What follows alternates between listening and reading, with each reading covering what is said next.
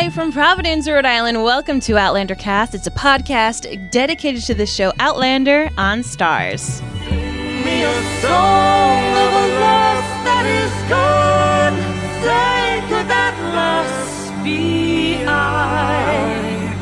Mary of souls, she sailed on day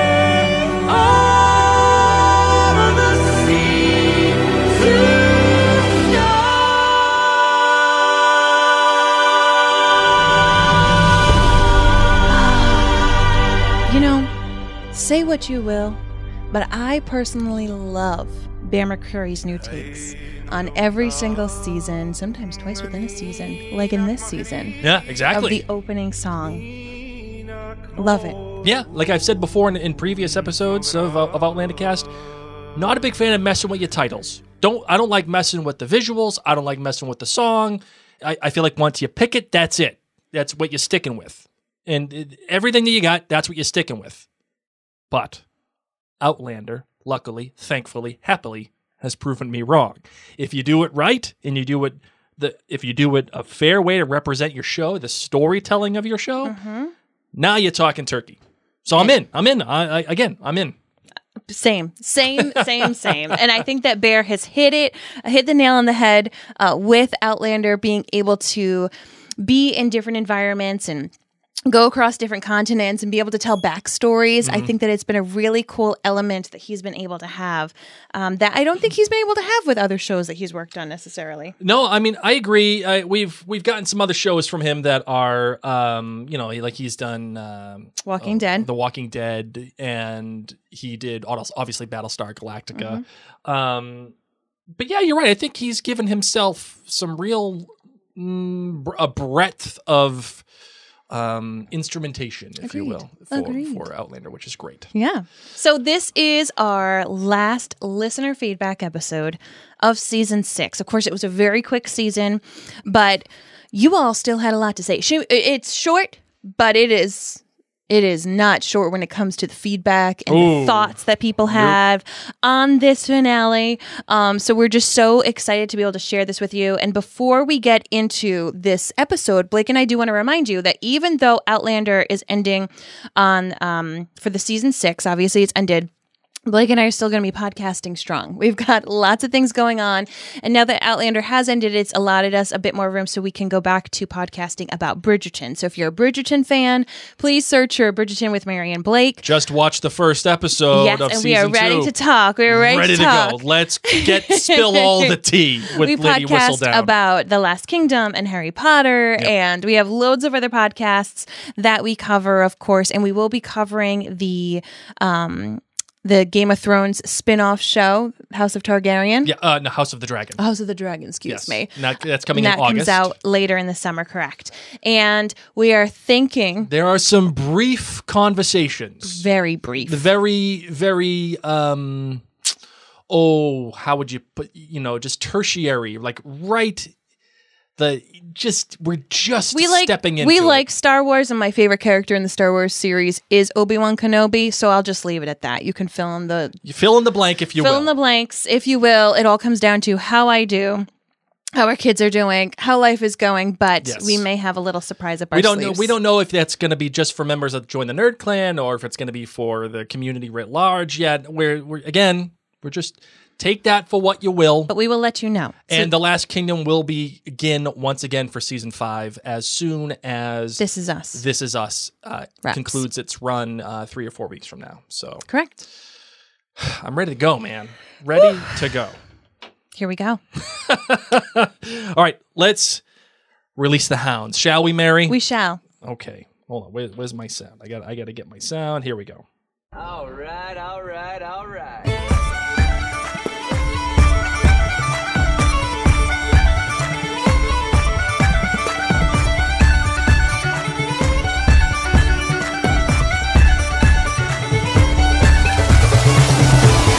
All right, Marvin.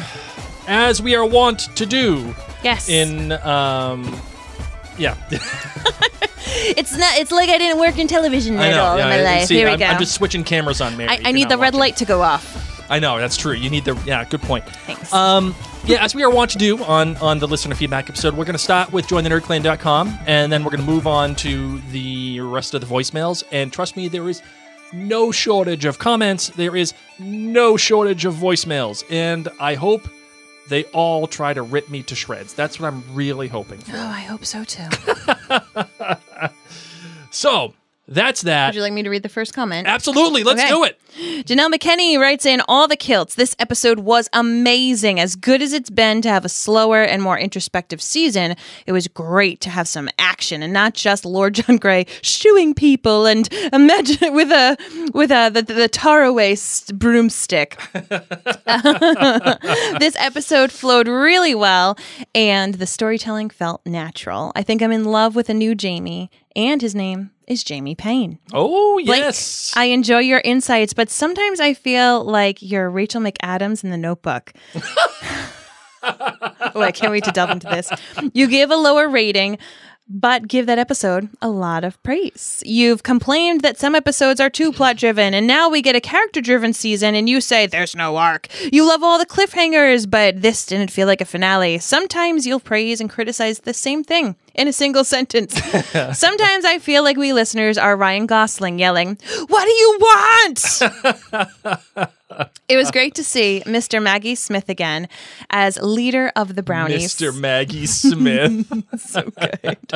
we spent so much time with Lionel and Claire's head that just seeing Richard Brown on screen had me on edge. Too bad these brownies showed up with guns, not thin mints and samosas. Oh, good choices. But we got some great action scenes and the shout out at Fraser's Ridge, or the shootout at Fraser's Ridge. Leave it to Jamie to have a secret lair.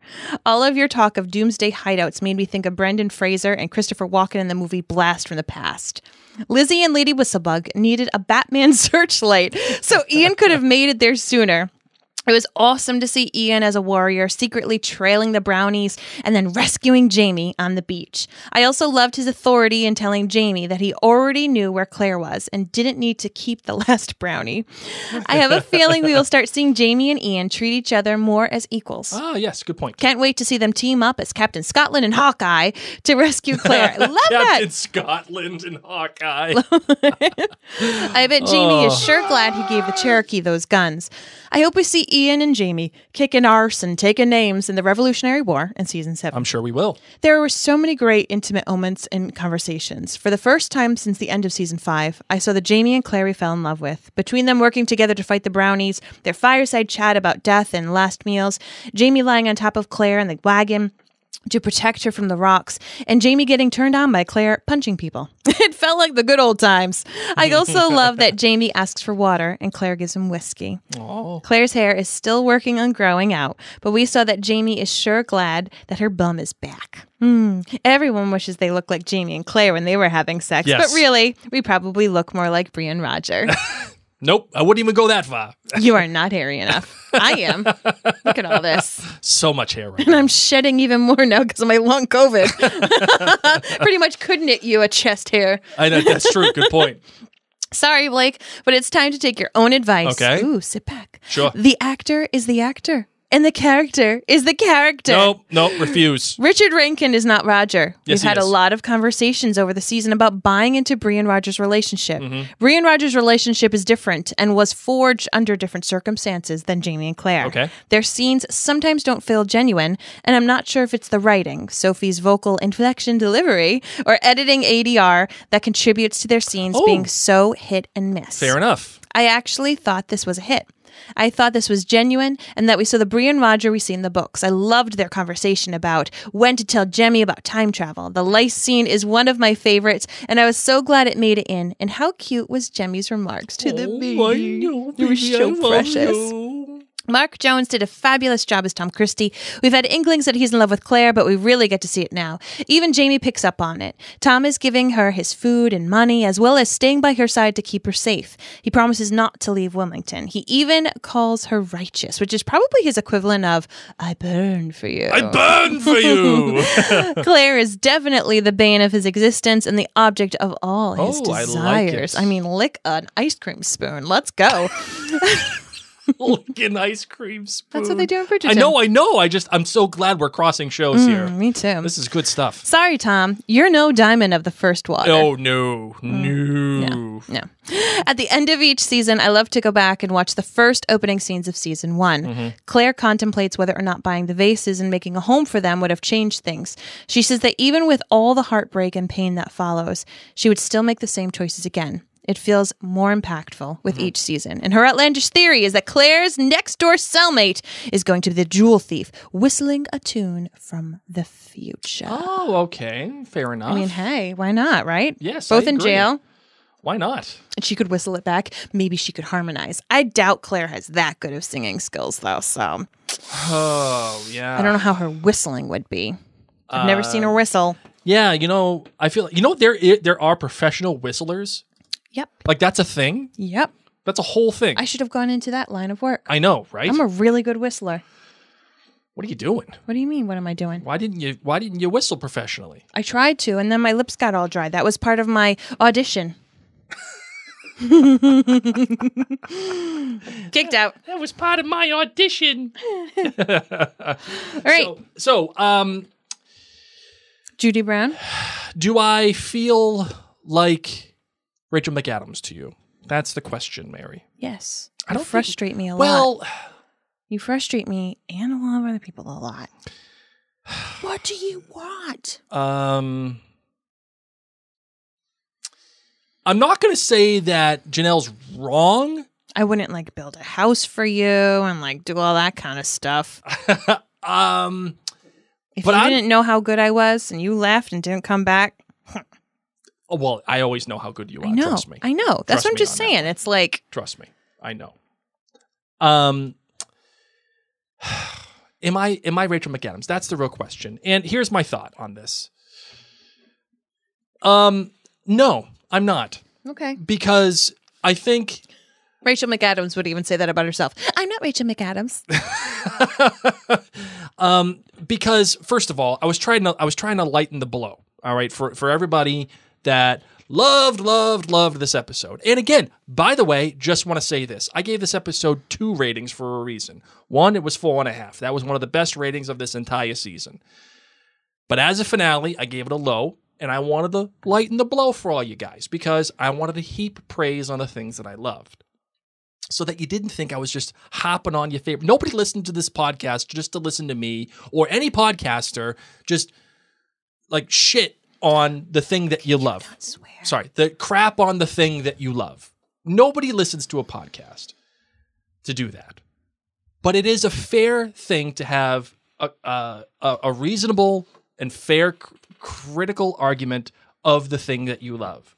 If it weren't for shows like ours or even shows that are on, on ESPN or uh, book reviews, movie, re- then there's no conversation surrounding the the the the industry writ large. And it's important to have those conversations. I agree. But I also think that sometimes, you know, you go back on what you say within the same paragraph, Well, that again, uh, be- which is fine. We just want to let you know. And as far as as far as the the whole like the I don't really want to talk about you Uh, much more. fair enough fine fine Because we all know. We all have our opinions. We either think you're Rachel McAdams or we don't. You don't need to. You don't need to. I don't uh, need to plead your case. I don't need to plead my I'm just I either am or I am not do- yeah. more than likely I am it's okay all right we got a lot of voicemails we're gonna get to it here we go Hi, Mary and Blake. Daisy calling from Melbourne, Australia. Hi, Desi. Long time listener and first time caller. Yay! Little Cue ding, ding. ding. So, my kilt oh, rating Oh, sorry, for yes, season right. finale was 4.9 kilts. My good was the look Jamie gives Tom as he's staring at Claire. It's like Jamie knows that something's up, and it's freaking brilliant.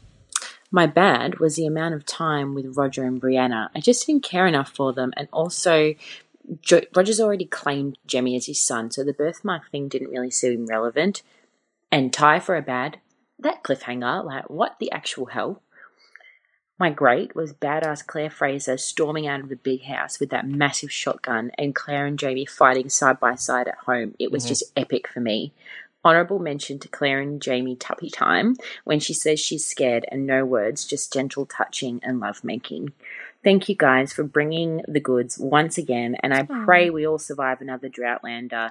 and also, Mary, good luck with the long COVID clinic. Thank you. Oh, we need it. Trust me. We, We need need, all the luck for the long COVID clinic. I know, May 17th, baby. they don't know what they don't know what's coming. And listen, I, I know the Droughtland is here, and it's you know it sucks. It sucks to say that, but guess what? There's a lot of good TV out there, ladies and gents. There's a lot of good films out there, and we're here to help you cover it for you. So, uh, trust me, expand the horizons here, broaden broaden your world a little bit, and trust us, trust the process, and come join us on a journey for some new television. Oh, See, see, that's what I'm here for. I love it. I take care of you. You do. All right, let's get the next one. Hey kids. Now I can say that because I just turned 60. Oh, I'm happy just giving birthday! you some general feedback about Outlander Cast and This Is Us Too. I Okay. listened to both. Sure. Um, first, for Pete, I'd like to say you guys need a button on your website that says Pete Hall of Fame, and we Mm. can press it whenever we want to hear his clever montage. Yes. Second, my vote for reaching 900 patrons is for Blake to do a cooking lesson. Oh, okay. And third, Lou. Lou, Lou, Lou. you should have gotten a heads up when you went to their website and you saw. Mary and Blake's picture and their name on the website. And you saw there was a podcast with listener feedback. And there's one called This Is Us Too. And th- just the sheer amount of personal detail that you get about these two Oh. should tell you that this is a different kind of podcast. For Christ's sake, they've invited us not only into their living room, but into their bedroom. it is the joy of that personal connection, not to mention you guys' delightful banter and amazing insights, which makes your podcasts outstanding. Lastly, Mary, all of the prayers, keep the faith. It's going to work. Thank you. Bye. Bye. Thank you. You know what? Lou, I, I don't think Lou ever expected to become a thing. Agreed. I don't I don't think it ever happened. Lou Lou came into this, didn't know that they were walking into a hornet's nest. We got a new person. You upset the nerds. Oh. Someone you- someone's joined the ranks of Lou. Oh, really? What do we got? I'd love this. Mean, I ha- mean reviews. I heart HK Yeah. on Apple Podcasts. I hot HK. So if you haven't written a review on Apple Podcasts and you like us, please go and flood them so that these ones go away. Put was great. okay, was was great. well, Was at least we great. were great at one point. Now it's getting to be the blathering Blake with sound effects show. Mary, who understands the series, is so much better. Hardly gets a word in anymore. Oh, I heart HK. I've had COVID. Long COVID. so if I'm not getting any words in, it's probably because I'm like massaging my face. oh man. it's okay. Blathering. I I, I blather. We have we have We've got a lot of uh, great ones. I do want to let you know we have a lot of great reviews. As I said, if you haven't gone in yet, but um, there was a time when when mean comments hurt our feelings. Yeah, now it's just like, hey man, no problem. like you've listened to uh, this many episodes. Yeah, and you took the time to, you know, write a comment. It's all good. That's that's that. I think that's more reflective of you. No, than- you know, maybe than- they had a bad than day. Maybe Maybe, hey, you know what? Could have had a bad cup of coffee in Connecticut. Stop. all right. Next feedback. All right, here we go. Hi Mary, hi Blake. It's Pete from Pete! Tewkesbury in England. Um, I hope you're both well, all things considered. I just wanted to say thank you for continuing to put out your podcast despite all that you've both been going through. It's very much appreciated. You probably, um, I don't know, feel a sense of obligation having built up this legion of fans worldwide um, to put out the podcasts. But it'd be perfectly understandable if you um, said, uh, no, we've had enough, or you're not doing it for a few months. So thank you very much. Um, I'm not much of an internet person, to be honest. I'm a bit too busy half the time, just like yourselves. But uh, my wife will occasionally come into the kitchen when I'm cooking a meal for the family and say, You chuckling away at Outlander again? I say, Yeah, I'm chuckling away at the Outlander podcast, the Outlander podcast.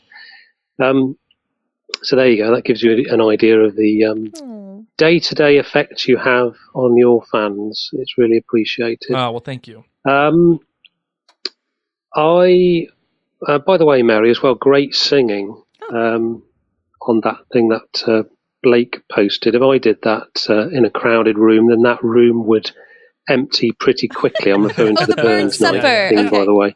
I'm running out of time, so I am going, go, going to go on another one. Apologies. Well, since you're the Hall of Fame caller, You get to. Pete, you get to. That's okay. Here we go. Hi, it's Pete again. Hello.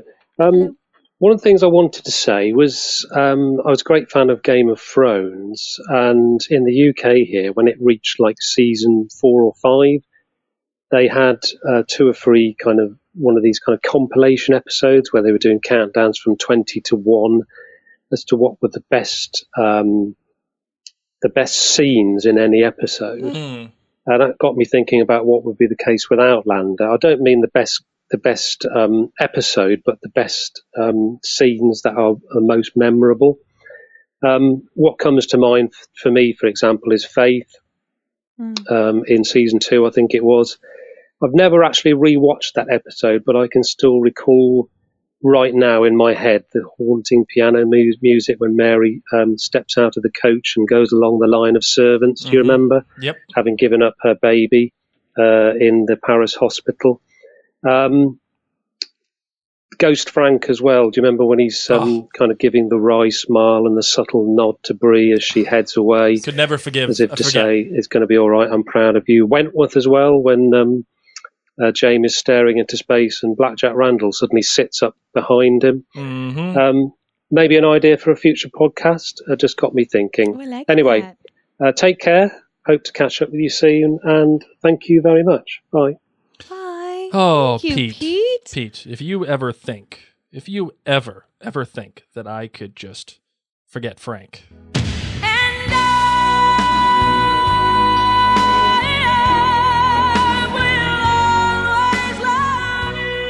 Now, I'm not going to say I'm going to revoke the Hall of Fame status because you think I forgot about that uh, about that scene. I'm not going to do that because I'm I'm in a given mood today. That scene never leaves my consciousness. That that is one of the scenes. That's one of the very few scenes that I actually genuinely cried when I saw that. And that is not a lie, is it, Mary? It's not. Not a lie, because that was that was something. So, but yeah, you know what, Pete, you bring a you bring a great idea to the table here, which is maybe we could do like a top five favorite scenes of Outlander, you know, thus far. The moments that hit you. Yeah, I think it's a good idea. I dig that, Pete. All right, uh, let's get to the next comment here. Judy Brown says, I totally agree with Blake. Okay. The quality of this episode as a finale was disappointing. Cannot even be compared to Dragonfly in Amber or Never My Love. If you want to see a fabulous finale filmed during the pandemic, watch Severance. Absolutely top notch, engineered with creativity, suspense, revelations, and a cliffhanger. Oh, I've never watched that show. we I it's on Apple TV and Mm-hmm. it's something that we probably should watch. I've seen a lot of different good things about it. What's it about? I don't know. Okay, well, that's really a great sell. Um, Great elevator pitch, Blake. I don't know. but we should totally watch it. Okay. Uh, my spare time, right? Veronica Defoe writes in So, if the show had said this was a split season with four more episodes being released later at some point, you'd be okay with it as a mid season finale? Just wondering. Because, truth be told, this kind of is like a mid season finale, and they were mm. very upfront with it without coming mm. out on the TV. They couldn't, like, come out and be like, Hi, everybody, set your expectations differently because due to ex, you know extenuating circumstances Extenuating. extenuating got you. circumstances thank you we've got we've got some issues going on can you say that this would be a fine mid-season finale Uh, as a mid-season finale, I would say.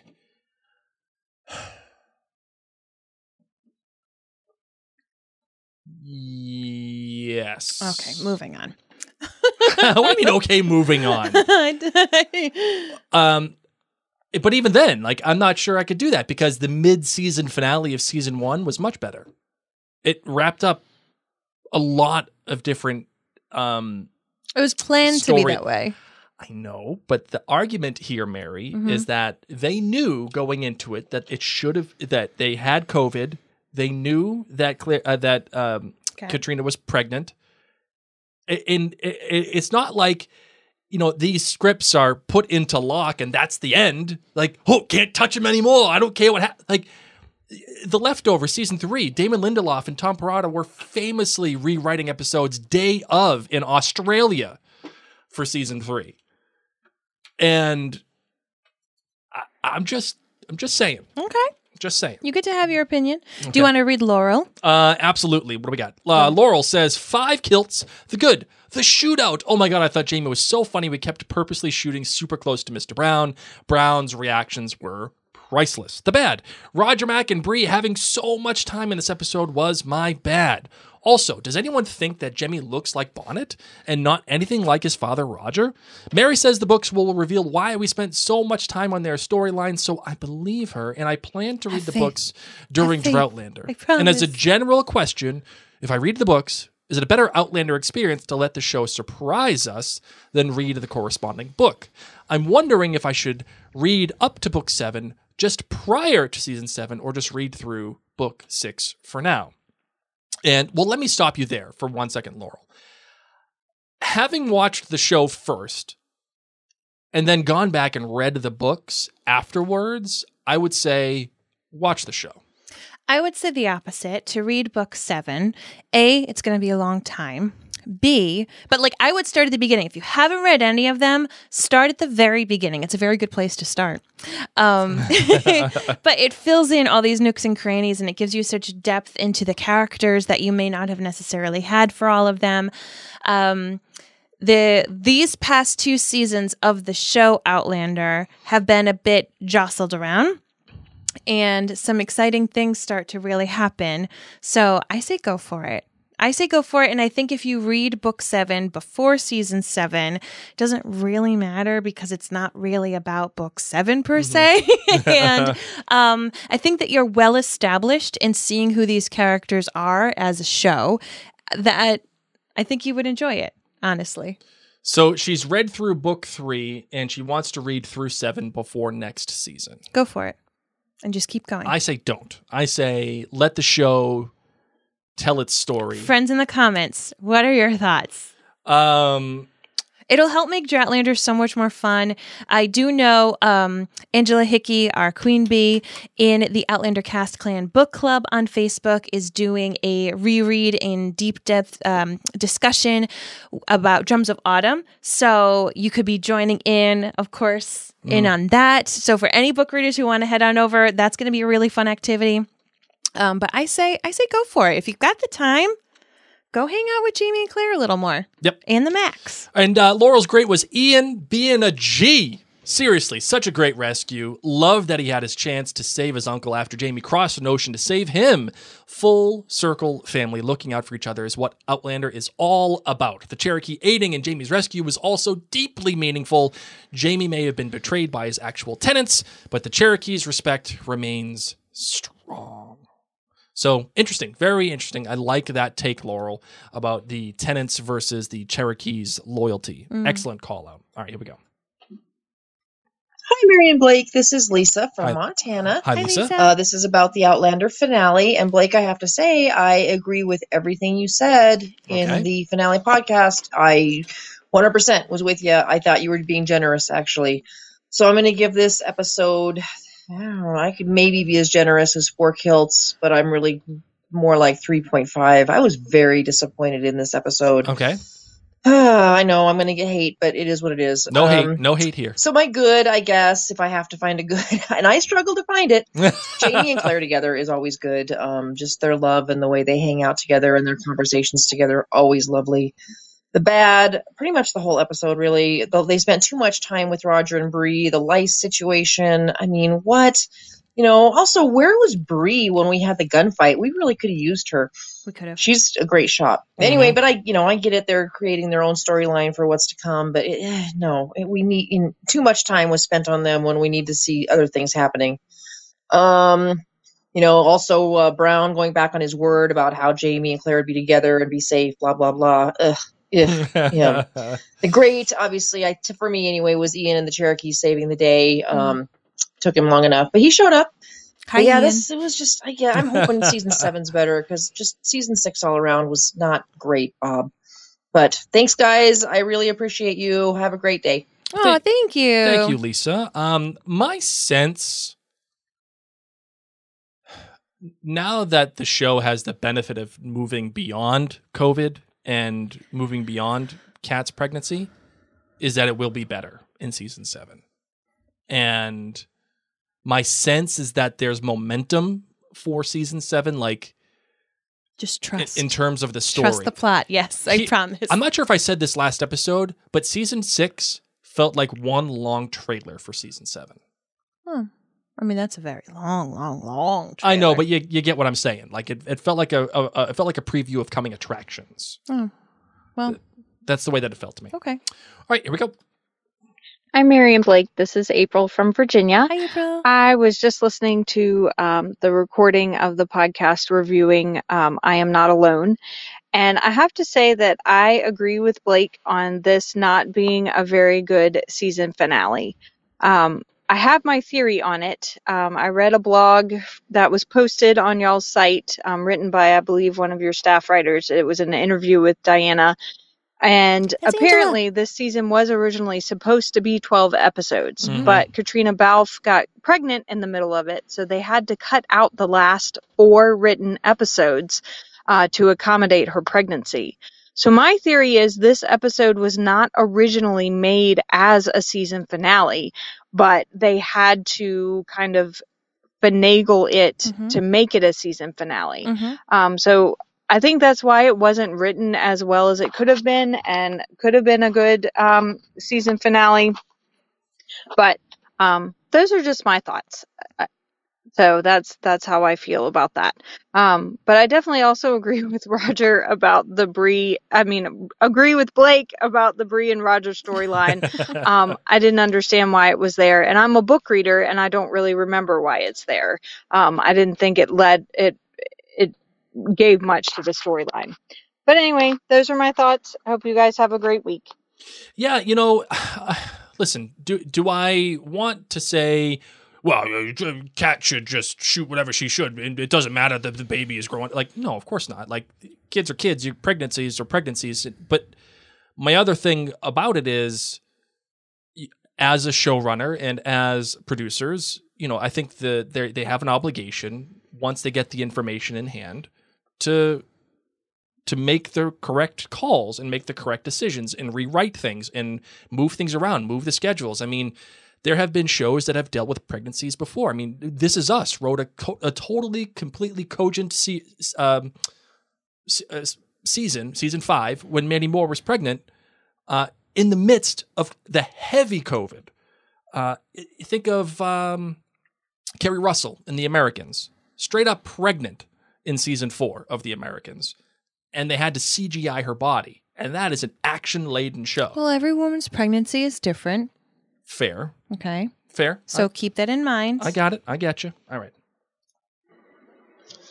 Hi, uh, this is Sherry from Northwest Arkansas. Hi. Saying hi to Mary and Blake and thanking you for putting up with this. Uh, oh, I don't know, uh, all the mess that's been going on with the COVID and of your own your own issues, and to keep uh, keep us informed about what was going on with Outlander. Um, my good and my bad is uh, the trip of Jamie and Claire. Um, I love the fact that they were together, but I didn't like the fact that they were, and you know, having so many problems on the way and being separated again. But I hope that'll change next season. Um, I also wanted to make a um, comment about Tom. Uh, in the beginning, he um, was afraid to be touched by Claire, and then at the end, at the last moment there, he was able to touch her and give her comfort, and I found that very um, interesting. Um, and does anyone know why there is a guy hanging from someplace at a storefront? And when they got into Wilmington, I was wondering about that. Anyway, oh, my great was seeing Claire come out of her shell and having Jamie said there was a fire in her eye. Hmm. And I love seeing that again. So I thank you and uh, look forward to talking to you guys next season. Have a good day. Thank you. Oh, thank you so much. I appreciate Um, that. the person hanging, I saw that as a doll dressed up wearing the red coat. yes. I saw that as a more like yes. scarecrow. That don't actually, come around here. That was quite common at that time. So what they would do is they would tar and feather these dolls or these scarecrows, and then they would light them on fire. Some a lot of the time too. Make you feel better about your life. Uh, or they would tar and feather it, whatever. But yes, yeah, that was quite common at that time. As, Very as a- cathartic. As as, as a pro as a protest. so yes. All right, let's get to the next one. Hi, Mary and Blake. It's Glow from Methuen. And right away, this may be Your two cousin voicemails. from Boston. Now, I give this episode five kilts for this bad boy. I still think that the season was too short, but grateful for it. I understand why. Mm-hmm. What a team Claire and Jamie made. I was so impressed, but not surprised with how smoothly they worked together. It was like clockwork, and mm-hmm. rightfully so. And Claire can shoot. She's a fabulous shot Sure and never missed. Yep. Unlike himself. I loved that Claire finally told Jamie everything, but one conversation and reassurance is not going to make her PTSD go away. Mhm. She still has a lot of healing to do, and now with the new trauma of being arrested and stoned, verbally abused, and incarcerated, she's gonna need all the copays. Oh yeah. So and many all the copays. Claire needs a major vacation. Amen. I do think that the drive to an open, functioning courthouse was dragged on a bit, Mhm. especially for a short season. Agreed. Where is Ned Gowan when you need a good lawyer? Eh, probably croaked. It's in Scotland. My good is that cellar. Oh my God, that cellar of goodies. This- Guns, and Cellar ammo, guns. and whiskey. Wonderful. My bad is Mrs. Bug. She's on my you know what list. Mhm. I mean, seriously, woman. You work for the Frasers. Where? Oh, looks like she got cut off. Hold on. We a sec. lost it. Okay, here's the second one, guys. Sorry about that. Uh, I was talking about my bad being Mrs. Bug. I mean, where is her loyalty? She Sure. works for them, for Yep. God's sakes. Yep. And my great was the last five to ten minutes, starting with Ian saving the day. Yes. His arrow work is that what you call it? I don't know. Was amazing. Boom, boom, boom. One right after the other. Down went the bad guys. Awesome. Chief Bird had one of my favorite lines in the episode. I told you I would fight with you, Bear Killer. Mm-hmm. Love that guy. Love him. And the guy that Claire shot in the belly, Ezra, he was the only one that died. It looked like they mortally wounded more than one guy. Ugh, so many jabronis. The Browns, the Fisher folk. Ugh, I was very disappointed with, with the people on the ridge. I could have been very happy with just a Claire and Jamie episode for the hmm. finale. We really didn't need to see Bree and Roger at all. But Jemmy is a beautiful boy and he's so adorable. But all that time with them could have been focused on the reason we all watch Outlander Claire and Jamie. The sex in the tent on the cold ground with their son two feet away. Oh my God, I didn't need that. Now, I am always here for some rumpy pumpy, but I, for one, did not need to see Harry Roger vroom vroom all over his wife, no matter how stunning she is. Oh crap, this is going to go to three. oh, oh, it- well, I, I don't know, but uh, I don't think I don't think we have the next one. So I will say her bad was Mrs. Bug. yes, I don't know why she thinks Mrs. Bug wasn't on their side. I think she just took her time. well, no, it's the bugs. The bugs have been a little. I know. I just don't want her to think that Mrs. Bug was in the mob of fisher folk. That was someone else. Yes, that's fair. All right, that's so, fair. just in case Gloria thought Mrs. Bug was hanging out with the fisher folk with the pitchforks and their their fire sticks, their torches, um, that wasn't her. Yep, fair enough. All right, uh, let's see what we got here. We'll do the next comment. Megan Williams, she says, "Good, Roger and Bree. I loved the lice and the vroom and the most honest and accurate depiction of our kids in the next room sex I've ever seen. I'm an expert. I have six kids and three are under two. Wow, Megan." You, you are an Oh. angel, an angel. Oh, man, you are a better person than I. I don't know how you're even writing. I wouldn't even be able to write. She wrote a good amount. Too. I know. okay, the room in the bed was icing. I'm glad we got some solid Roger and Bree normal relationship that didn't involve an argument or plot movement. You know why Megan just liked this? character. Why? She has sex in a room next door to her little kids. Well, that's what she was saying, you- Marvin. Oh. Oops. How to tell when the hosts aren't listening listening. I got distracted. you know what it makes me think of? I was thinking of Dances with Wolves when Kevin Costner's laying next to the people who his basically his Airbnb hosts. Yes, yes. And they're just having sex right there next to him, and he's like an adult. Yeah. And a real adult. Yeah. It's Kevin right. Costner. Yep. So better Jemmy or Megan's kids than Kevin Costner next to you. Oh man! All right, bad. The Jamie and Claire separation storyline. I know this is completely a Diana thing, but nothing good comes from splitting them up. I know it's just a way to move the plot along, but it just happens a lot. Megan, I, agree with you, but when you here's the thing: when you have such a, a solid foundation as a couple and you need to create tension, the best thing you can do is split them up. Because you know that together they're pretty much going to be able to do anything. Oh my god, it's like me and you on game night. Oh, you can't. You can't beat us. Can't beat us in can't. You just cannot beat us in taboo. It's no.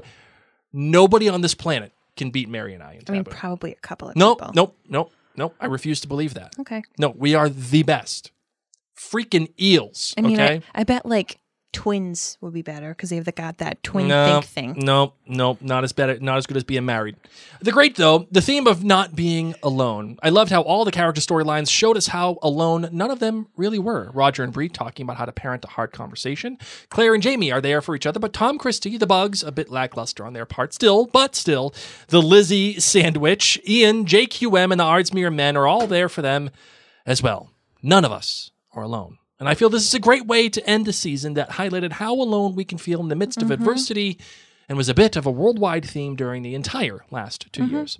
The bonus great, Ian. His story is my favorite in books seven and eight, and I'm so glad he is finally getting the screen time to back that up. Mm-hmm. Love you guys. Looking forward to your take on Bridgerton next. Yay! Uh, trust me, I am too. I can't wait for Bridgerton. And you know what? I'm kind of looking forward to the Ian story too. I want to see what happens here.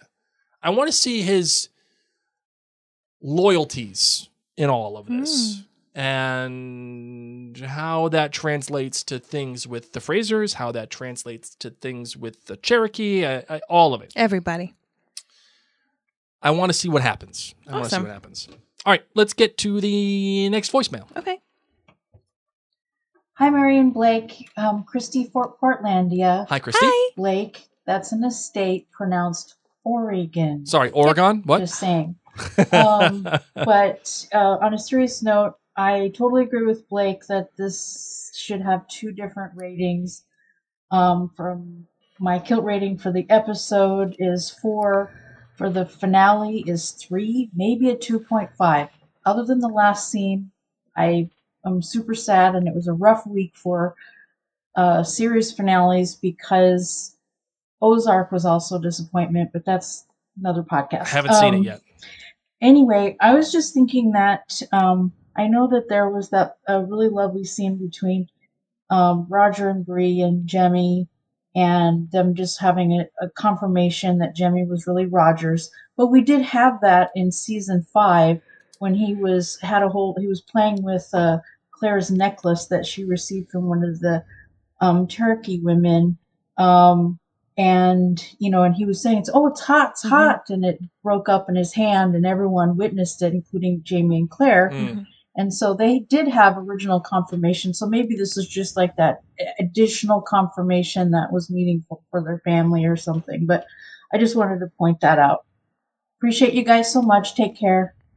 Hmm. Thank you. I like it. Uh, Samcha uh, here says, I feel as though on binge watches, because the cliffhanger won't have the impact, it won't feel like a finale. yeah, you know what? Fair. Fair. In a binge watch style environment, I think that would be okay to say. All right, let's get to the next one.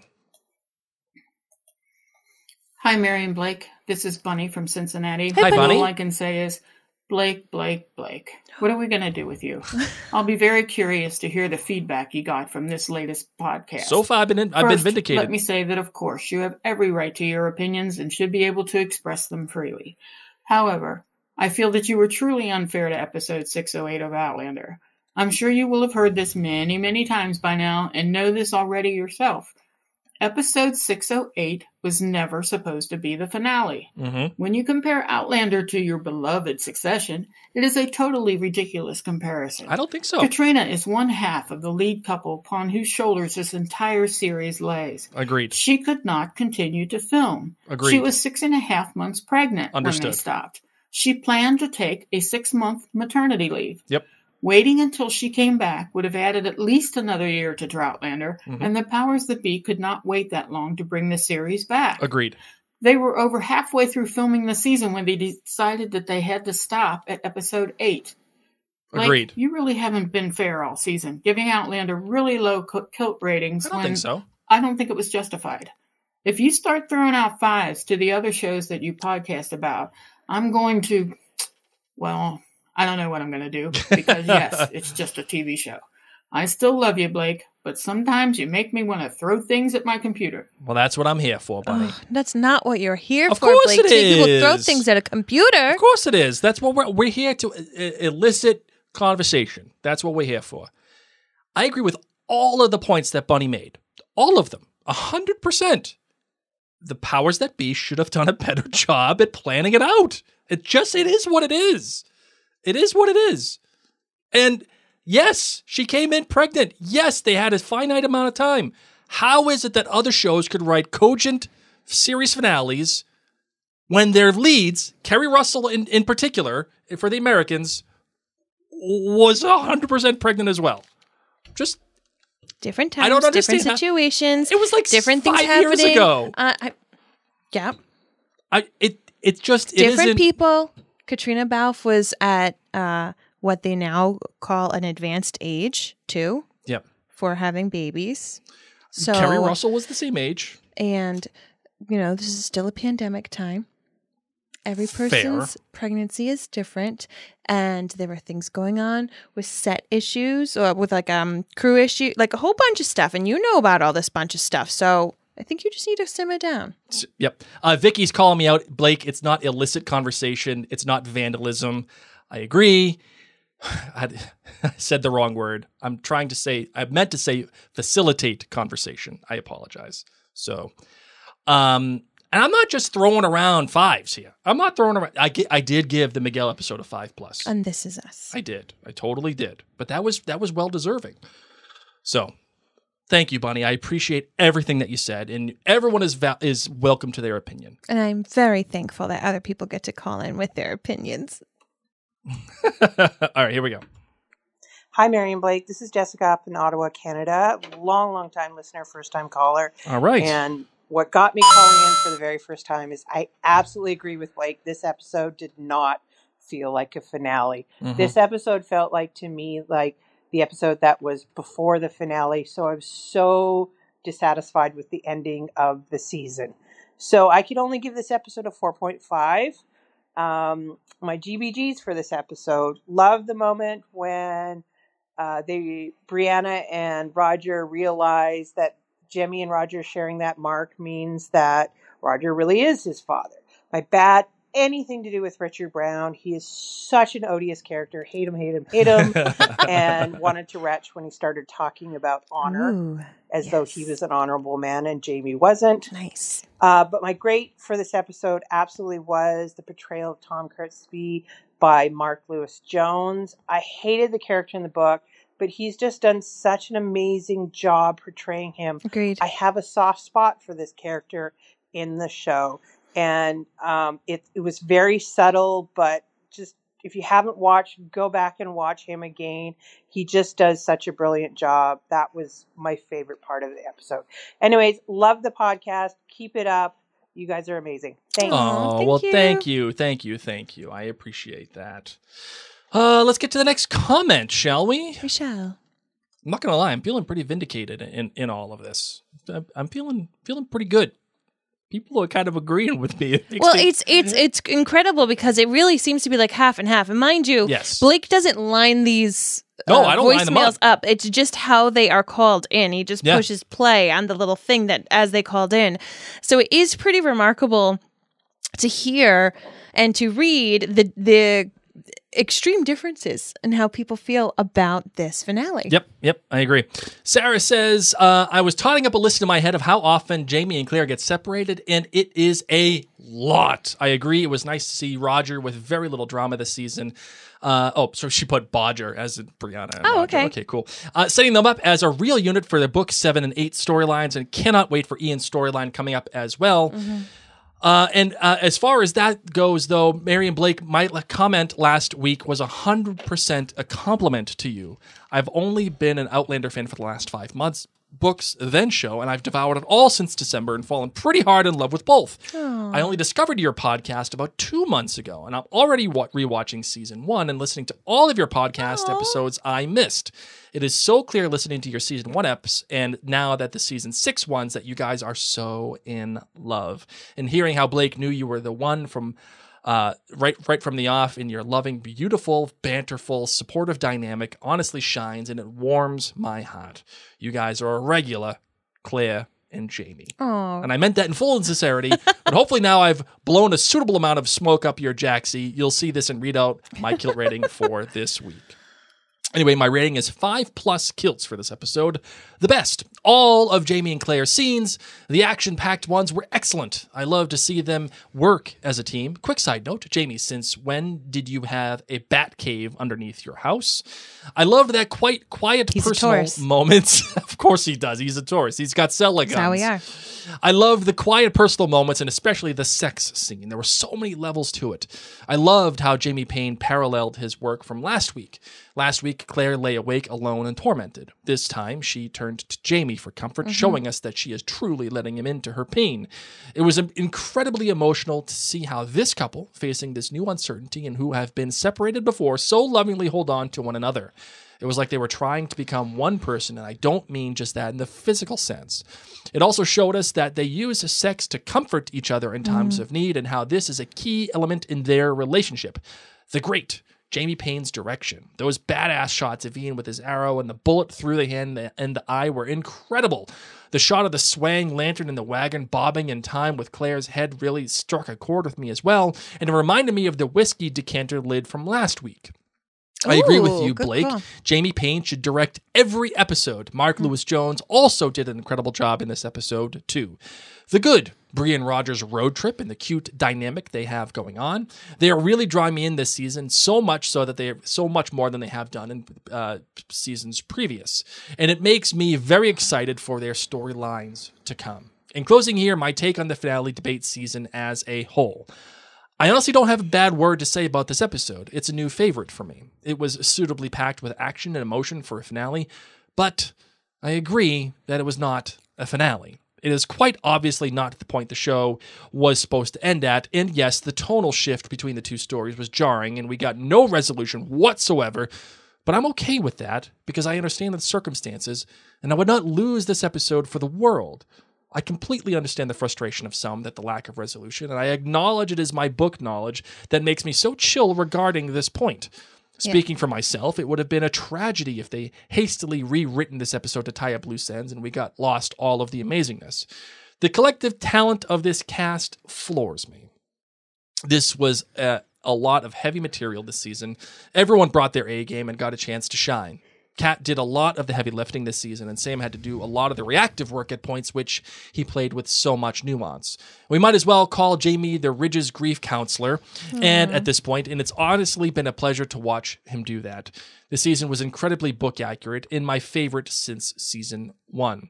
I always judge the show in its own right and try to embrace changes, but I can't deny my joy at seeing the book come to life in front of Mhm. my eyes like it did this year. For a show that has been so much to cram in, and as a consequence, if sometimes is plot, plot, plot, I loved how much character exploration we got this season. The slowed down pace was a winner for me. Happy birthday to Mary and feel Thank better. you. Thank, Thank you to both of you for continuing to podcast for us with everything that's been going on. I appreciate you both. Thank you so much. Oh, thank you so much. That is really good stuff. Yeah. Great, a great Concur. feedback. Great feedback. I'm in. Let's go. Here we go. We got some more voicemails to get to. If I could find it, here we go. Nope, my computer won't let me do it. Let's go. Hey, Mary and Blake. This is Dawn from upstate South Carolina, first time caller. Hey, Dawn. First, Mary is right. PETA indeed. But Blake, I do like your detailed points and critiques. I really enjoyed this episode and the whole season. I think they did a great job working within their constraints, and it must be viewed within those same constraints. You could definitely see the effects of that darn Rona in some of the scenes, but I'm grateful they pulled it off. My kilt rating is a 4.7. My good is the shot of them pulling away in the big house in Mhm. the wagon. Yep. All the feels. I have two bads, and like you, Mary, it isn't really a bad, but the scene at the big house getting shot up really brought a tear to my eye. The real bad is the Roger and Bree moment. Please, Outlander, stop with those scenes. They don't work. It's one of those Phoebe moments. You know the one. Oh, my eyes, my eyes. Not good, Bob. And by the way, we don't need to see sparks and smoke between the sheets all the time, but we do need those quiet Jamie and Claire moments. Nobody smolders better than Jamie, and I mean nobody. Mm. So don't try it with anyone else. And my grade was Ian to the rescue. Yippee-ki-yay, mother. Well, you know the rest. I'm going to miss you guys. Until then, stay safe and be well. Dawn, excellent call. You come, you call back anytime that you want. That that was some good stuff. Bringing the heat on that one. And yes, Mary, PETA, indeed. I'll take it. Blake, Mary, Steve Mack here from Merrimack, New Hampshire. Hey, Steve. I Wanted to call you guys, let you know your podcast is awesome. Found By by the way, Steve, I just want to say uh, you are an honorary Your cousin from Boston. Yeah. because you're, He's you're New by. Hampshire, and you know what? I got a I got a warm heart for New Hampshire. He does. Just As cold as his heart is for Connecticut, Oh. it's that warm for New Hampshire. Oh. And yet they're like, I don't know, two and a half hours apart. the it, again the the line between love and hate very thin, very thin. For friends who live in like normal big sized states, this blows it's their like mind. two towns away. Yeah. Someone was just saying the other day about how they're going to drive to this airport that is actually like a closer airport and it's only four hours away. And I went, four hours away? There's like four airports in between for us. um, at least, Yeah. at least, I think more like six. And I said, in four hours, I could be in New York City, parked, Mhm. eating lunch, Yeah. getting ready for a Broadway show. Getting some white glove service, One hour from Boston. and you're, and you're just going to the airport. Holy smokes! Claire says, I used to live in Merrimack, New Hampshire. Well, Claire, I went to school in New Hampshire. I went to St. Anselm College in Manchester. So that's why I have such a deep love and appreciation for all things. oh, and thank you for the happy uh, belated birthday for all, stars, for all Robin. things thank uh, you. New Hampshire. So live free or die. All right, Steve, back to you. Yes. you guys and Outlander in general during the past Droughtlander. Okay. We've me and my wife watched it like three times all the way through, and you guys are the best. Thanks. On to the season. I love first and foremost the way they've handled Ian getting his story with the Cherokee, getting all the not the Cherokee, the Mohawk. The way they handled that, getting to know him better in that way was awesome. Uh, Lizzie, Lizzie, what in the world? I They she don't do that in was New playing Hampshire. Hard to get. She was being kind of weird. I thought. Then all of a sudden, she's the twin slayer. She hops from twin to The twin. twin slayer. I'm here for it. Didn't expect it, but I love it. Mrs. Uh. Bug. Mrs. Bug sucks. She's devious. She's a she's a gossip whore. No, thank you, Mrs. Bug. I want you gone. The opening sequence Oh. in the show in general, this year's song, the season's song, Oh, yes. the end harmony with them running across the beach. Oh, yeah. Waterworks every time. Yep. It's so amazing, and I'm so glad we finally saw it at the last scene of the season. Blake, yes. your accent, your Boston. I grew up north of Boston. You go from Mid America to Charlestown at the drop of a hat. I love it. Yep. You know, that was one of the things that people have called out on our Apple podcast reviews Yes. is that you come in and out of your accent from time to time. It's, tr- it's totally true. And you want to know why that happens? I have no idea. It happens when I am comfortable. You, when my accent comes out, Mhm. you know that I'm comfortable. If it's gone and I start talking like this, that means I'm either trying to sound smart or I'm trying to make a point or I'm not comfortable enough where I feel like I know exactly what I'm talking about. Okay. So, and if I have a couple of drinks in me, Then you're gone. no, forget it. You can't even Don't understand, understand the word them, that. I'm saying. So, yes, it does come and go when I'm on the podcast because sometimes I'm just not That's how it is, really. And I get nervous. Like, if I'm nervous, it doesn't come out because I'm trying to sound smart, I guess. I And know. my accent comes out when I've had it when I'm just like done. Here we go. I'm ready to complain. Like when I'm in a complaining mood, it comes out. When I've had a wee dram or two, it comes out. Oh, yes, it does. Or I turn British. Uh, that, oh, very true. Immediately turns British. So, That's- sorry, friends who aren't used to people who go in and out of accents. It's part of being in Rhode Island. We're half Boston, half New York. We don't know what we're whoa, doing. whoa, I'm Massachusetts. You're Rhode Island. You've been living in Rhode Island for over a decade. Does I'm still Massachusetts. I'm Massachusetts No, at heart. I've leaked into your brain. Everyone knows it. Steve, you call in anytime, my friend. I'm so glad to have another a fellow person from Massachusetts, uh, a male. To be honest, I think that's I love awesome. getting all these male listeners. This is great stuff, man. I'm I'm in. Let's go. Like, Let's. And if any of you tried to friend me on Instagram and I blocked you and you're actually a listener, I'm sorry.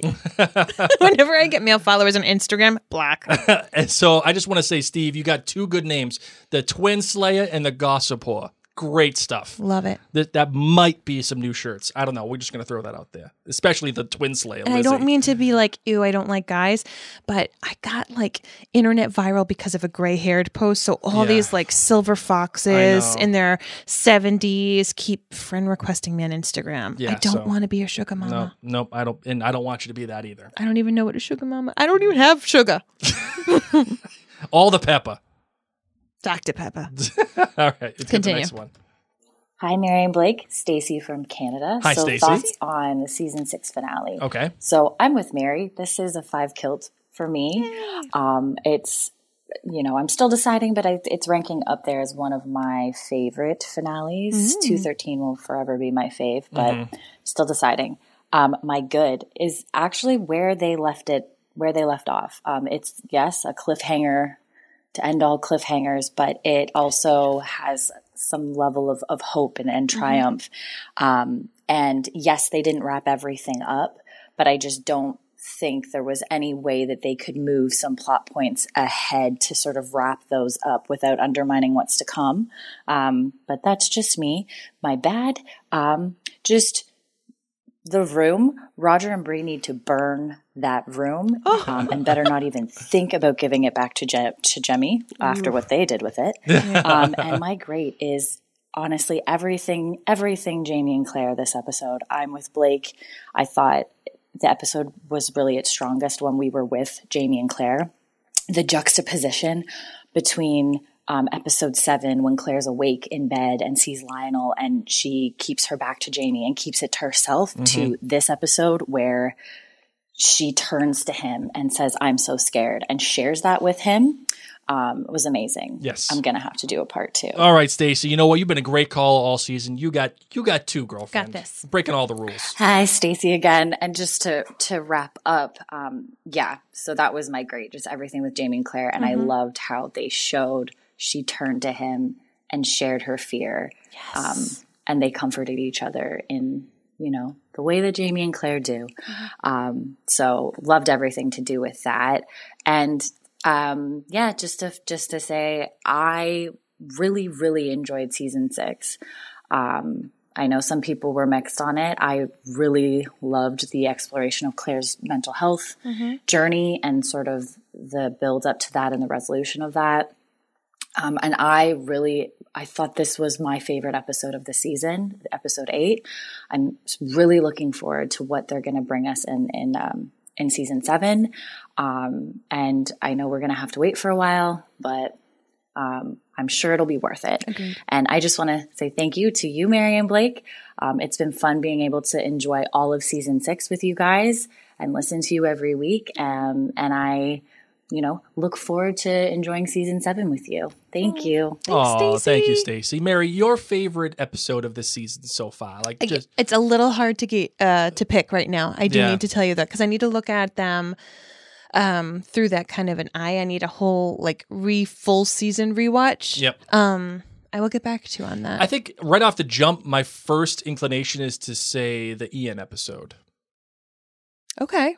I think that's yeah. I would I would say the Ian. I episode. don't know if you scored it as high as No, that was was that. uh. It. Well, I think I gave that a four or five. Interesting. I, I think I can't remember. Um. All right, Marvin. We are at an hour for this episode. We Mm-hmm. Let's got a lot reading. more to go. Um. So I, I want. I just want to take a temperature of your feeling, and do you want to power through these, and we'll have a a, a, nice long episode, or Let's what do you? just go. Let's keep it up. All right, here we go. Uh, Anne chimes in. She says, Blake, unless things have changed much over the years, the reason why they stay in Scotland to use Canadian First Nations and won't come to the U.S. to film is because they are avoiding unions and union rules. Yes, they are avoiding U- American unions. I agree. Um, but that still doesn't mean the fact that the crew walked off the set halfway through the season as well due to bad filming conditions. That is just the truth, and it is the dirty little secret of this season. Heather Jackson says, Mary and Blake, you guys always deliver great discussion and insight on the show. Mary, I love your positive takes, and your opinion of the show is very similar to mine. I love it. And oh my God, you make me laugh. Blake, I thank you for giving your honest opinion and insight, even though it isn't always well received. Your points make me think and allow me to dive deeper into the context of the show. Your show stats at the beginning of each episode have taught me how to be a better viewer. And if show stats are for nerds, then call me a nerd. Mary and Blake, your insight make the podcast, but your chemistry together makes the podcast great. You are the Jamie and Claire of the podcasting Aw. community. Thank you for both for a great I would not want to be Claire. no. Gross. I don't want to cut people up. Don't want to be shooting. Mhm. None of that. I just Goodbye. nope, all set. I wouldn't mind being Jamie. I'm not gonna lie. You know Okay. those pecs. You can live that life. Those pecs, man. that Adam's apple, though. I don't think I could do that. You don't have that. No, I'm saying I don't think I could do. I, I don't think I could have Jamie's Adam's apple. I wouldn't. I wouldn't. mm-mm. I- I don't like people touching my neck. It's weird. It's weird. People touching my neck. Why do you Don't. think someone touches it? Do you think that's Because part of their when you- foreplay that Claire like licks it? Yeah. He's like, go for the apple, and she just like circles it. It's so big. How could you not? It's so big that it's just like that's a thing that people are just are. You know, like when you're a pregnant lady, people t- touch your belly. I got a feeling that people will just go up to Sam and touch touches Adam's apple because it's that big. no one will do that to Sam. it's not that big. I've seen bigger. Still got it. No, no, wrong one, Blake. That's what she said. All right, let's get to the next uh, one.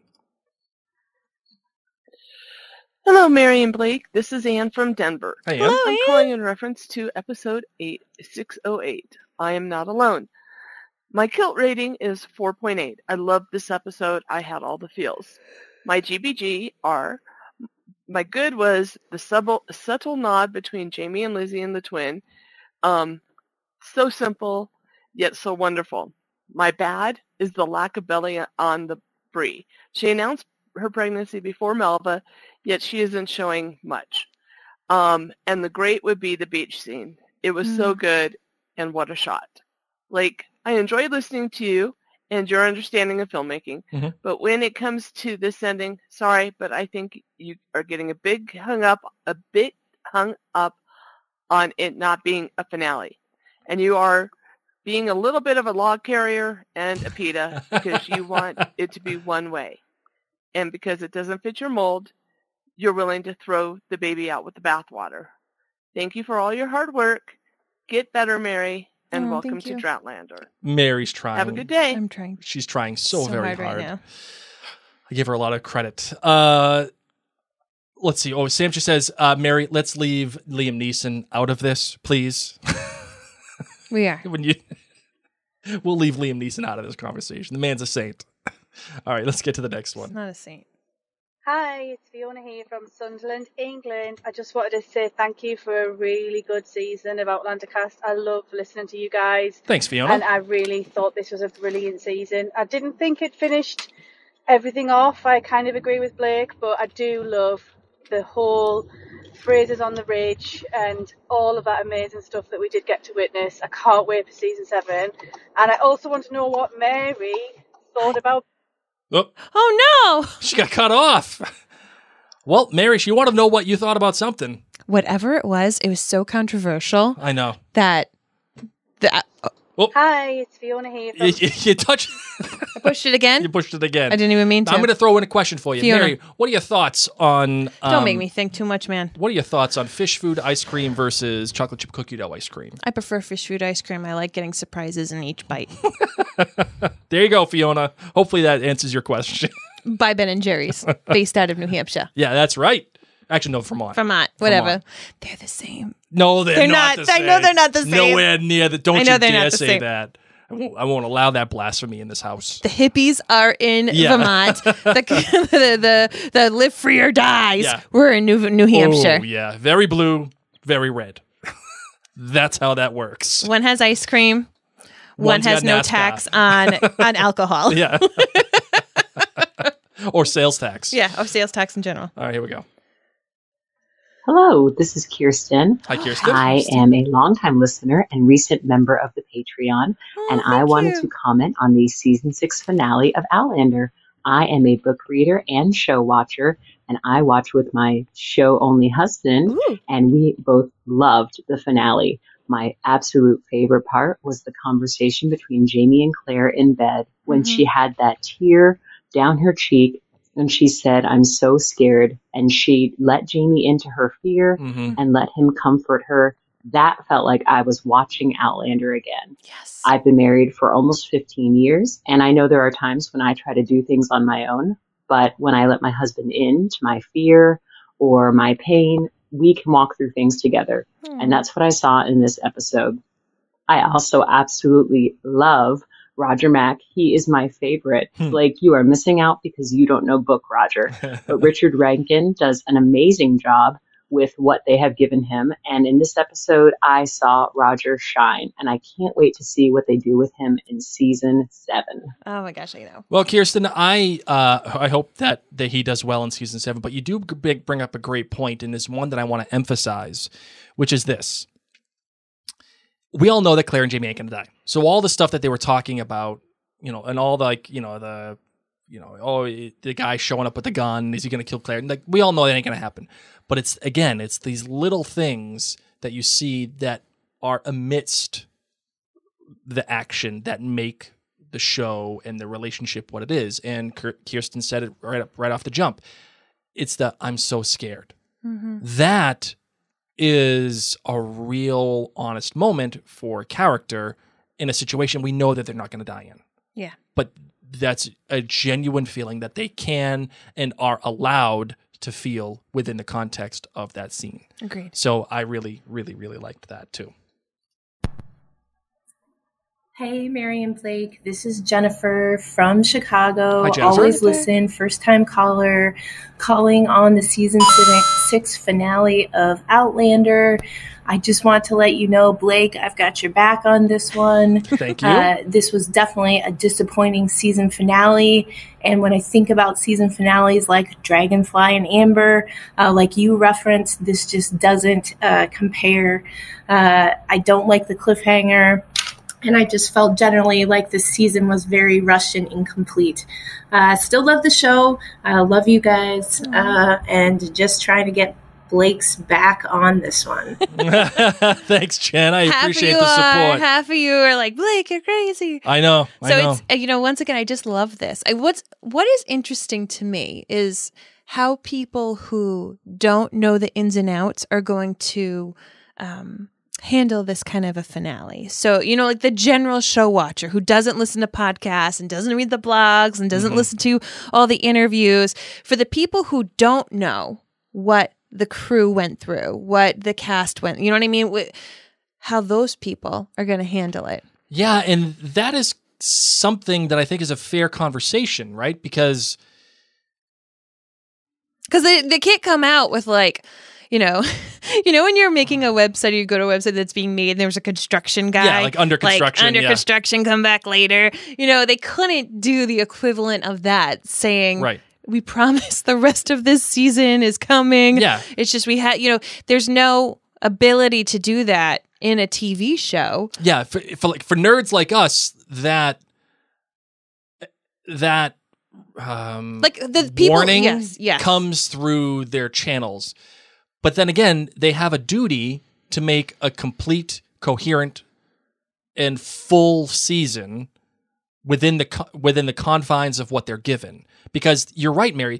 A, lis- a, listener or a viewer should not have to rely on social media or podcasts or you know press releases mm-hmm. to get the full context of your story. So I'll be interested for friends in the future listening to this. For those of you in the future who get to binge you know, maybe you start off on Netflix, which just let in season five, by the way, yes. as of today, the day of of um of recording.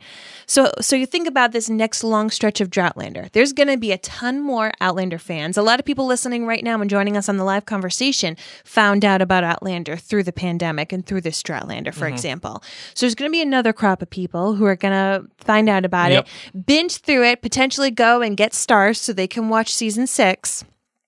And on one hand, I think, will they be sitting there saying, like, wow, that was a very different season finale? Like or will they be sitting there saying, I know there's going to be a season seven. I don't even have to Google it. Like, I know there is, Yeah. and I'm excited about that.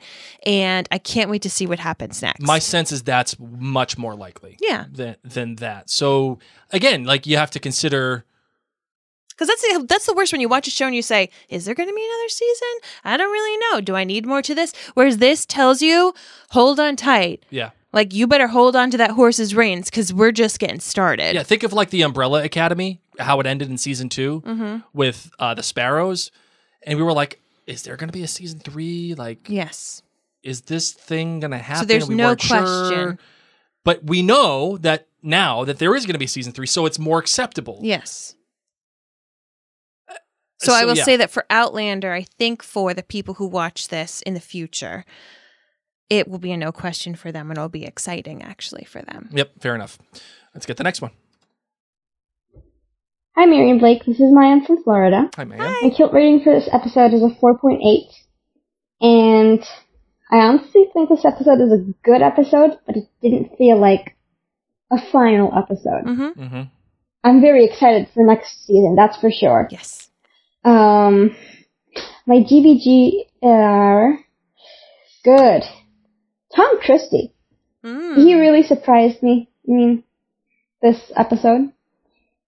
And I loved the, the part where he shot in the air to stop all the people throwing rocks and sticks. Um, Good point. Jamie and Claire. Now that's a way to throw rocks.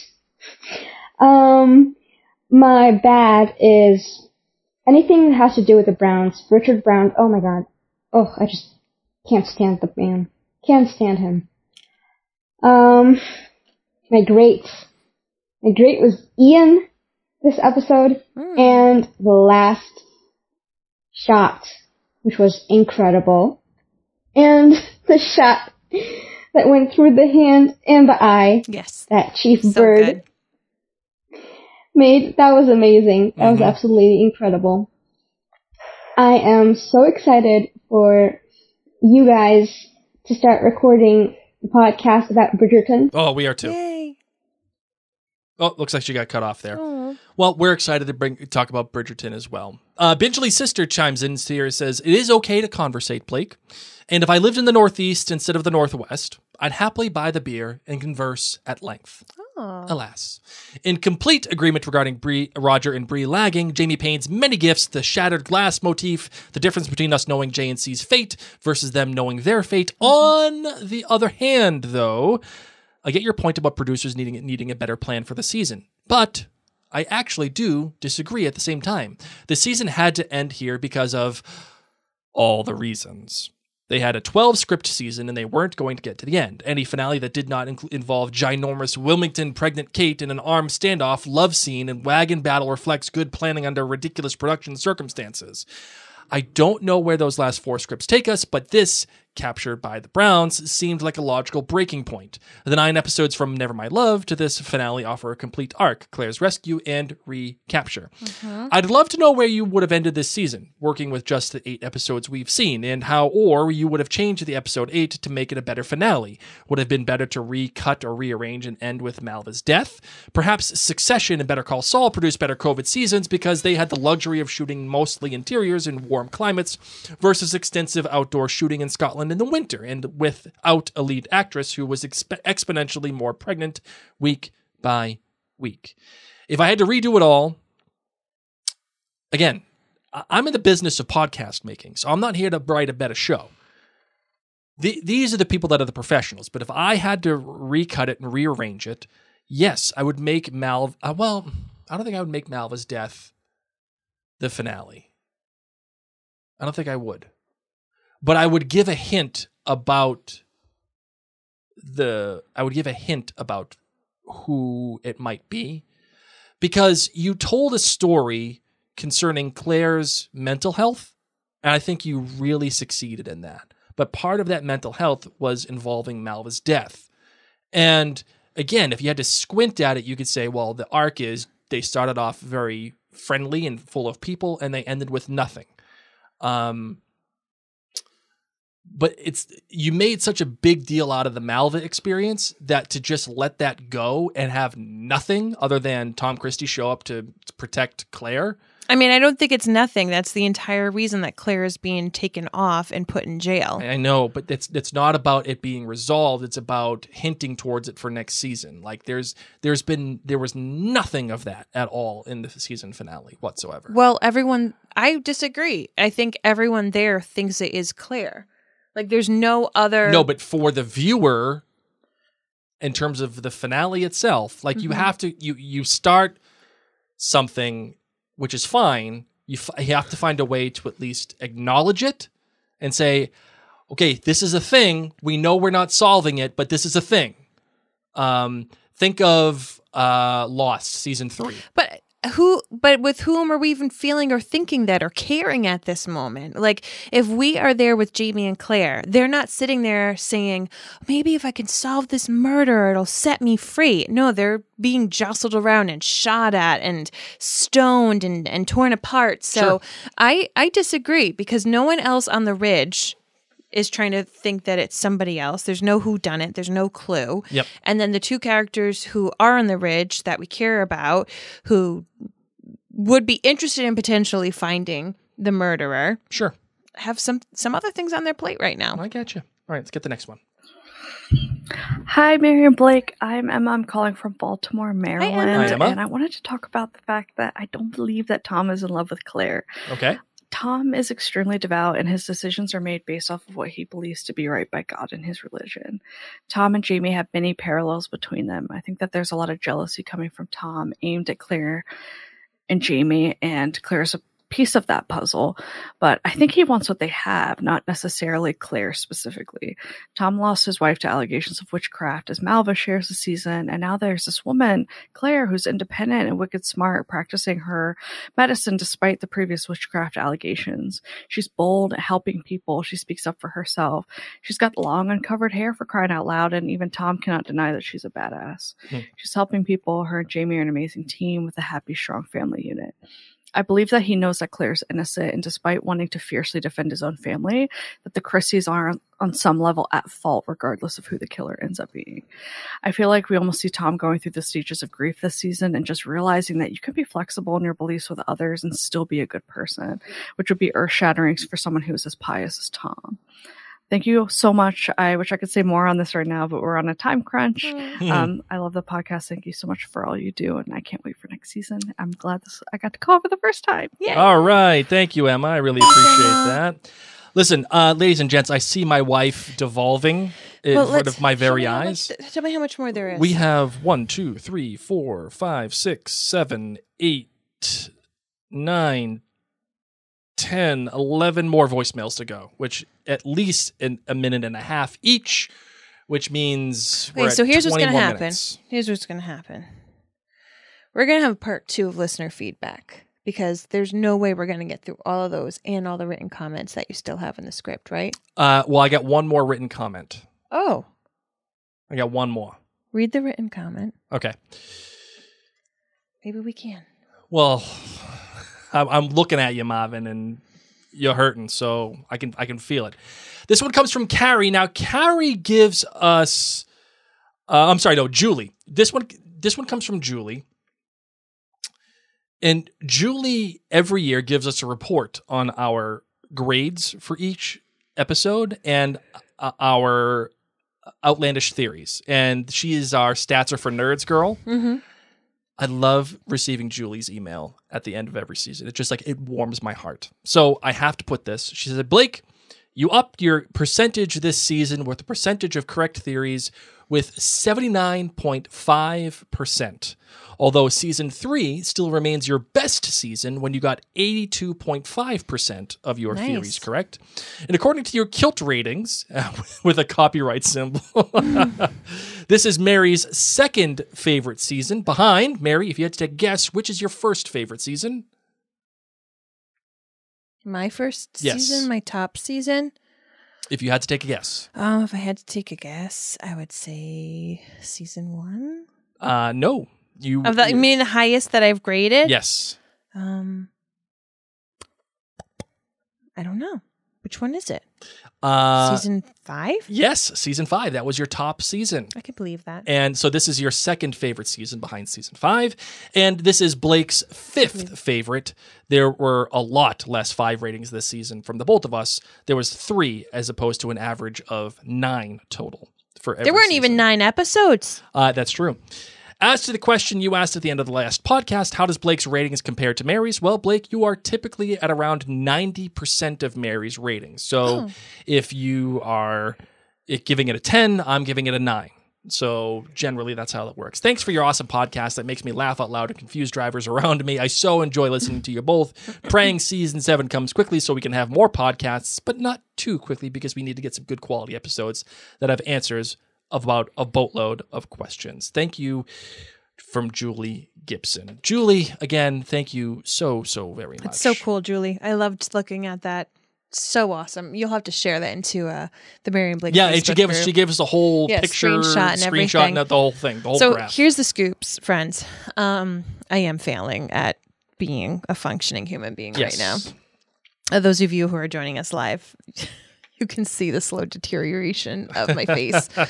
um, so we are going to have a part two of the listener feedback. That being said, it will most likely just be audio based versus Yes. having a video component. Um, I'm just it's it allows us to have a bit more flexibility with our kids who have been sick. It allows me to have a bit more flexibility with myself if I need to ask Blake to pause it. so the part two of this podcast will just be audio based and we will get it out to you this week. and we and obviously you all took the time to write in and to leave some voicemails and this again this We wanna honor that. we want to honor this is just as much your platform as it is ours and we've made that promise to you since 2014 so we're never gonna let go with that i just i have to take care of my bride here and i can see her falling apart right in front of me so that is that ladies and gents let's close this bad boy out we will have part two hopefully relatively soon Within this week. yeah, I would say probably within this week we should be able to have something for you, and uh, and that'll be that. So, Okay. all right, you ready? I am. Let's do it.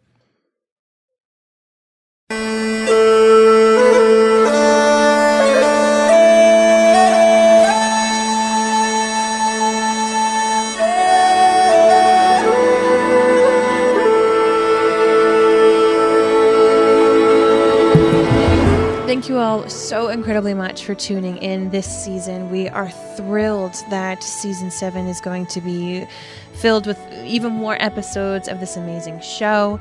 Uh, we do want to remind you to keep your eyes at outlandercast.com for all of the blog posts that our amazing staff of bloggers keep coming out with. It's we've just got so many talented people from around the world. Those of you who are book readers, we welcome you into the Outlander Cast Clan Gathering Book Club on Facebook. Um, our beloved Angela Hickey is going to be leading some great discussions there. She's going to be talking about the um, season finale from a book reader's perspective, Mhm. of course. Um, past couple of episodes and kind of just doing a whole um, season uh, pers- perspective from a book reader's perspective. Oh my gosh, I'm seeing pers- look. This is called brain fog. if anyone wanted to know what it's like, um, and then also, as I said earlier, the Drums of Autumn read along will be happening as well inside that Facebook community. So you're more than welcome to join us there. Um, Blake and I do have an exclusive Facebook community for listeners of any and all of our podcasts. It's just search Mary and Blake, you'll find it there. Because during Droughtlander, as Blake said earlier, we're going to be keeping things busy with Bridgerton and The Last Kingdom and Harry Potter, and we'll have the new Game of Thrones show coming on, and we Yep. may have some other things popping up here or there. And we are still, of course, finishing This Is Us. Now, if you've never watched This Is Us, during Droughtlander, give it a whirl. Give it a whirl and check out our podcast. If you enjoy Blake and I as podcasters, you actually get to know a lot more about us in those podcasts. We share a lot about ourselves. Um, kind of take you on a ride because it's a very personal show. Yeah, I'm just ready for Bridgerton. So make sure uh, uh, also, and, and The Last Kingdom. I can't wait to get back to The Last Kingdom. Oh, so excited for that. Uhtred, son of Uhtred. Let's go. um, go to MaryandBlake.com. Check out all the great podcasts that we have there. As Mary said, the Mary and Blake Facebook group is a great place to get in touch with Mary and I, just very directly. And it has all of the news, all of the things happening at Mary and Blake Media. And if you're not on Facebook, follow us on Instagram. A lot of stuff goes on there as well. And of course, join the nerdclan.com. Right now, we are voting on our reward for hitting 900 members. And the the top 5, the top 5 nominees are Cooking with Blake, uh, a commentary on The Godfather from Mary and I, uh, a review of Downton Abbey, the new era movie, and uh, Mary and Blake's top 5 favorite films or television shows to uh, discuss on uh, during Droughtlander, like to recommend. Okay. And what was the fifth one? I don't know. I remember what the fifth one is. Okay. Oh, a Zoom call with all the Nerd Clan. Oh, very So cool. that is that. So if you want to vote on that and you want to have one of those things done by Mary and I, you can go to jointhenerdclan.com and vote on it there. It is the top post. It is pinned. You can't miss it. And if you are like, I'm not in jointhenerdclan.com, but I want to do whatever those fun things are, you can join. You could still join for as little as $2 a month. It's less than a cup of coffee, and it goes to help this mom and pop podcast. So. Caitlin here says, I think if you guys hit a thousand, Blake has to watch The Sound of Music live. yes, please. All right, my friends, thank you ever so much. Truly, from the bottom of our hearts, we are just so blessed to be with you. Especially with these past couple of years, you've been you've kept us less alone. So, Yes. part two is coming. And on that note, my name is Mary. My name is Blake. And you have been listening to Outlander Cast. Oh.